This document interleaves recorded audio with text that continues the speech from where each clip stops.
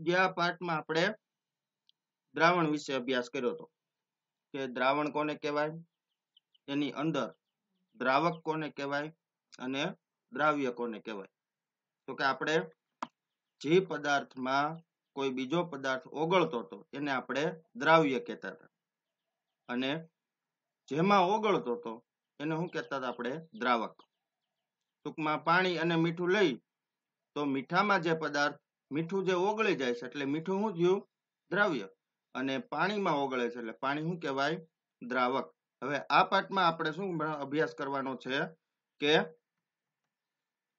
દ્રાવ્યતા એટલે શું?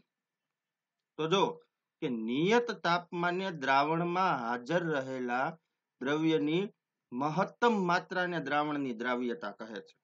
કોઈ પણ ચોક્કસ તાપમાને જે દ્રાવણમાં કોઈ પદાર્થ ઓગળેલો હોય દ્રાવ્ય થયેલો હોય તો એ દ્રાવ્ય થયેલ પદાર્થની માત્રા કેટલી છે? એનો જથ્થો કેટલો છે? તો એને એ દ્રાવણની શું કહેવાય? દ્રાવ્યતા કહેવાય. નિયત તાપમાને આપેલ દ્રાવકમાં જુદા જુદા દ્રાવ્ય પદાર્થની દ્રાવ્યતા છે. એ ભિન્ન ભિન્ન હોઈ શકે છે.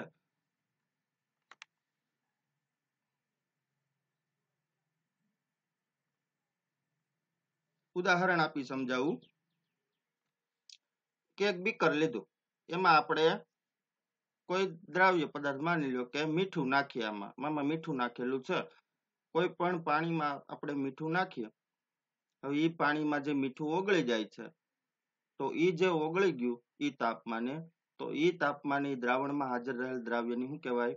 માત્રા કહેવાય. એમાં દ્રાવ્ય એટલે કે ઓગળેલો પદાર્થ કેટલા પ્રમાણમાં છે? એને એ દ્રાવણની શું કહેવાય? દ્રાવ્યતા.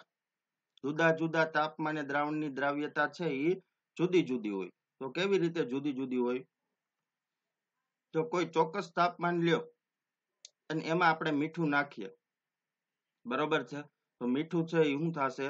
ઓગળી જશે માની લ્યો કે આપણે આમાં આજે પચાસ એમએલ પાણી છે, એમાં આપણે પચાસ ગ્રામ મીઠું નાખ્યું. તો પચાસ ગ્રામ છે એ મીઠું શું થયું? ઓગળી ગયું.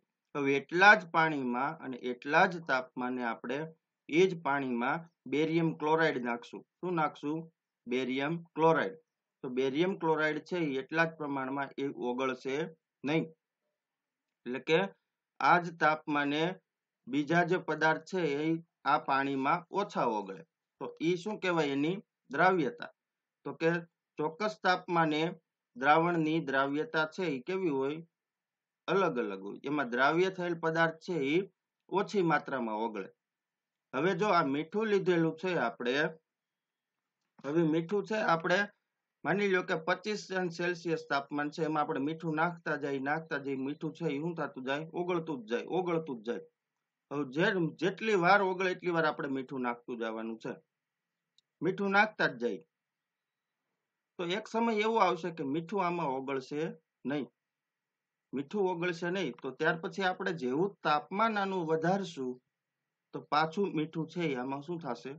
દ્રાવ્ય થઈ જશે ઓગળી જશે તો જો તાપમાન ઓછું હતું, તો મીઠું ઓછા પ્રમાણમાં ઓગળ્યું. પાછું તાપમાન વધાર્યું, તો પાછું મીઠું છે એમાં ઓગળવા લાગ્યું. તો એટલે એમ કહેવાય કે નિયત તાપમાને દ્રાવકમાં જુદા જુદા દ્રાવ્ય પદાર્થની દ્રાવ્યતા છે એ ભિન્ન ભિન્ન હોઈ શકે છે. એ આપણે જોયું કે જે તાપમાને જેટલું જથ્થામાં મીઠું ઓગળતું હતું, એટલા જ જથ્થામાં બેરિયમ ક્લોરાઇડ છે એ ઓગળતો નહોતો.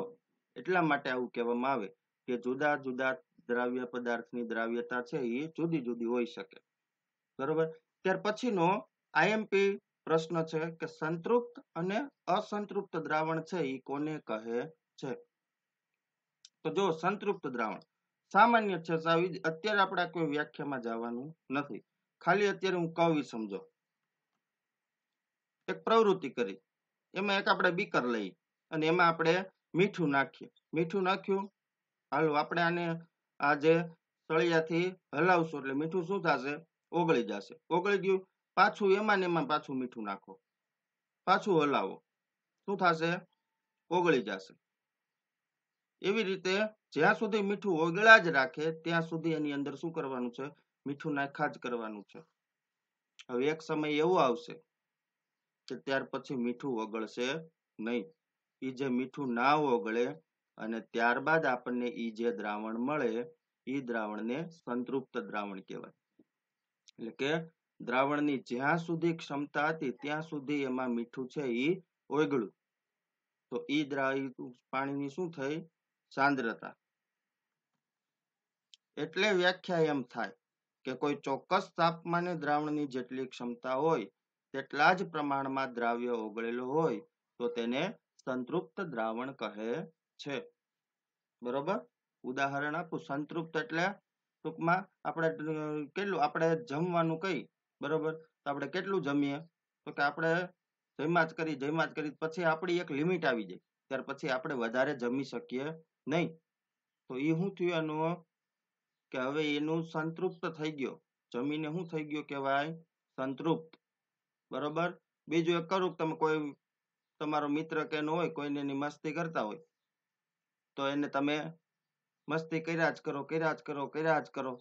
પછી એક સમય એવો આવશે કે એની લિમિટ આવી જાય. પછી એનો મગજ છે ને, એ શું થઈ જાય મગજ જાહે. અને પછી તમારો વારો નીકળે. એટલે એ શું થયું કહેવાય? એ પછી સંતૃપ્ત થઈ ગયો કહેવાય. એવી જ રીતે આમાં થાય કે પાણીમાં આપણે મીઠું નાખ્યા જ કરીએ, નાખ્યા જ કરીએ, તો એક સમય એવો આવે કે મીઠું છે એમાં ઓગળતું નથી. હવે જ્યારે મીઠું ઓગળવાનું બંધ થઈ જાય, ત્યારે જે આપણને દ્રાવણ મળે એ દ્રાવણને આપણે સંતૃપ્ત દ્રાવણ કહીએ છીએ.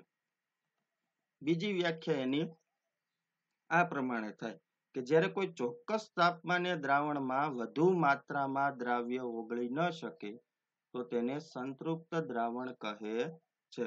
અમુક ચોક્કસ તાપમાન હોય, એમાં વધુ માત્રામાં દ્રાવ્ય ઓગળી ન શકે, એટલે કે મીઠું છે ઓગળવાનું શું કરી દે? બંધ કરી દે. તો ત્યારે જે આપણને દ્રાવણ મળે છે, એ દ્રાવણને આપણે સંતૃપ્ત દ્રાવણ કહીએ છીએ. આમાં જો પાણી છે, તો પાણી શું થયું? દ્રાવક થયું. અને મીઠું શું થયું? દ્રાવ્ય. અને જે દ્રાવણ બને એને, જે કઈ આપણને એનું જે મિશ્રણ મળે, એને શું કહીએ આપણે? દ્રાવણ. તો આ જે દ્રાવણ મળે છે, એ દ્રાવણ કેવું કહેવાય? સંતૃપ્ત દ્રાવણ કહેવાય. એવી જ રીતે આપણે હવે અસંતૃપ્ત વિશે જોઈએ. અસંતૃપ્તમાં શું થાય? તો કે જો દ્રાવણના દ્રાવ્યની માત્રા છે, સંતૃપ્ત સ્તર કરતા ઓછી હોય, તો તેવા દ્રાવણને અસંતૃપ્ત દ્રાવણ કહે છે. ઓની જેમ ટૂંકમાં પાણી લીધું, એમાં મીઠું નાખ્યું, બરોબર? મીઠું ઓગાળી નાખો. ઓગળી ગયું મીઠું? હજી મીઠું ઓગળે એમ છે, છતાં આપણે મીઠું નાખતા નથી. ત્યારે જે દ્રાવણ મળે, એને કેવું કહેવાય? અસંતૃપ્ત દ્રાવણ કહેવાય. હવે આપણને ભૂખ લાગે, બરોબર છે? આપણે જમીએ, આપણને માની લ્યો કે ચાર રોટલીની ભૂખ લાગી છે, તો આપણે બે જ રોટલી ખાઈએ છીએ. હજી આપણે બે રોટલી ખાઈ શકીએ એમ છીએ, છતાં આપણે ખાતા નથી. તો ત્યારે આપણે કેવા કહેવાય? અસંતૃપ્ત કહેવાય. એવી રીતે આપણે આ દ્રાવણની વાત કરીએ. કે આપણે દ્રાવણમાં હજી મીઠું ઓગળે એમ છે? મીઠું અથવા તો અન્ય કોઈ પણ પદાર્થ અંદર ઓગળે એમ છે? છતાં આપણે અંદર ઓગાળતા નથી. તો ત્યારે જે આપણને દ્રાવણ મળે છે એ દ્રાવણને આપણે કહીએ છીએ અસંતૃપ્ત દ્રાવણ.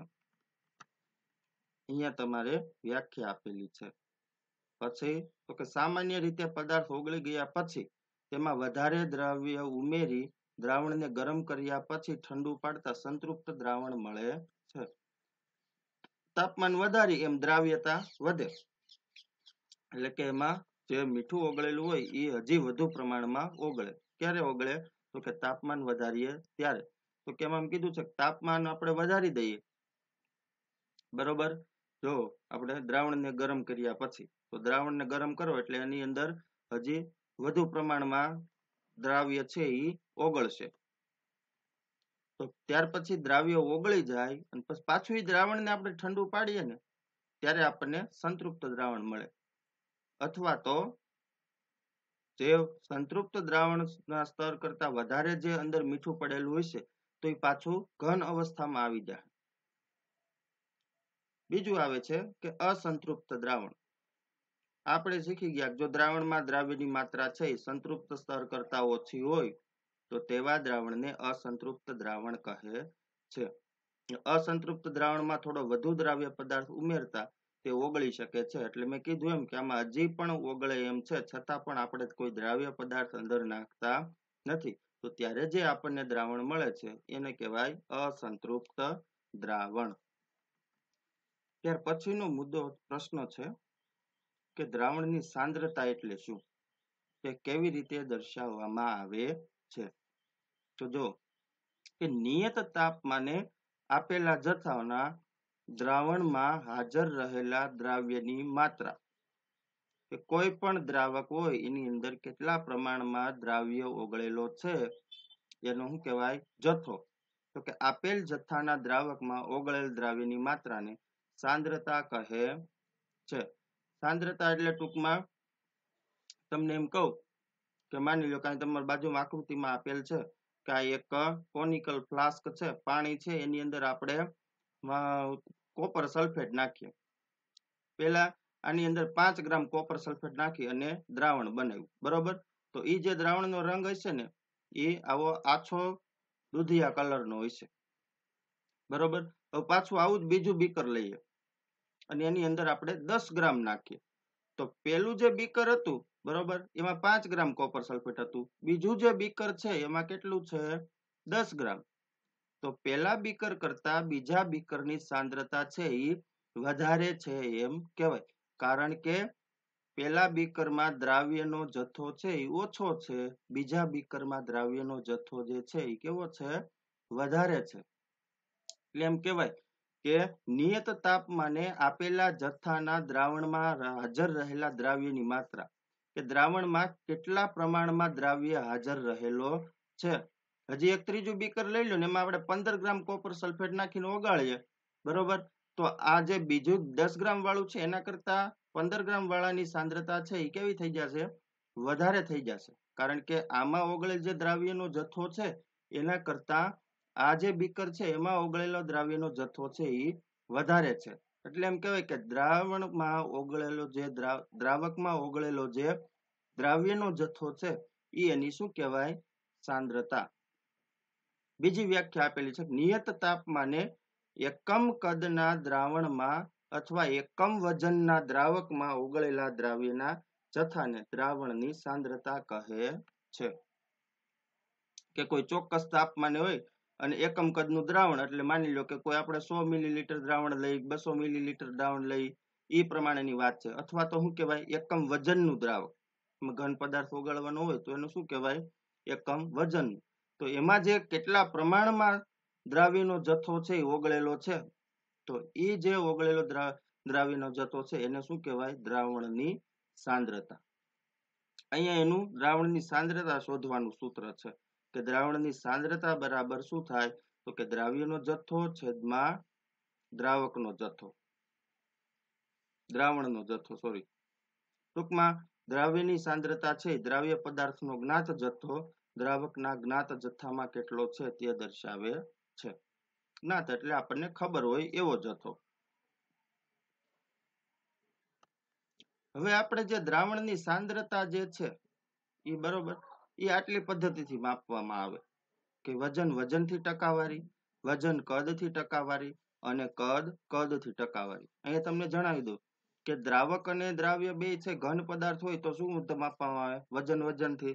હવે આમાં બે માંથી ગમે એક છે એ પ્રવાહી હોય અને એક ઘન અવસ્થામાં હોય તો એને વજન કદથી માપવામાં આવે. હવે દ્રાવક અને દ્રાવ્ય બે પ્રવાહી હોય તો કદ કદથી ટકાવારી માપવામાં આવે. બરોબર? તો આપણે જે અત્યારે અભ્યાસ કરવાનો છે નવમા ધોરણમાં, તો આપણે એમાં આ બે જ અભ્યાસ કરવાનું છે. વજન, વજનથી ટકાવારી અને બીજું અભ્યાસ કરવાનો છે વજન, કદથી ટકાવારી. બરોબર? તો વજન, વજનથી ટકાવારી જે છે, એનું સૂત્ર છે કે વજન, વજનના પર્સન્ટેજ બરાબર શું થાય?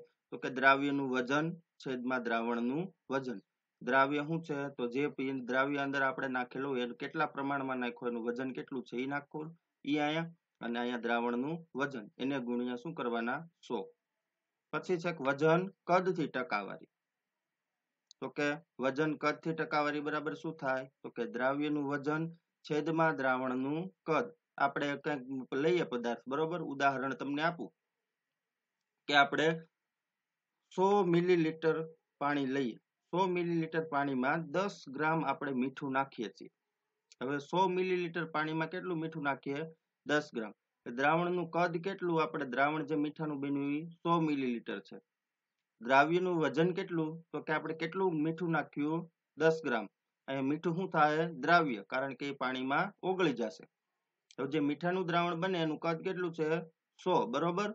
હવે અન્ય ગુણ્યા કેટલા કરી દેવાના? સો. એટલે જો છેદમાં સો, અહીંયા ગુણ્યા સો, એટલે સો સો ઉડી જાય. દ્રાવ્યનું વજન કેટલું છે? દસ. તો એ વજન કદથી ટકાવારી કેટલી મળી આપણને? દસ. તો આવી રીતે આના જે દાખલા આવશે.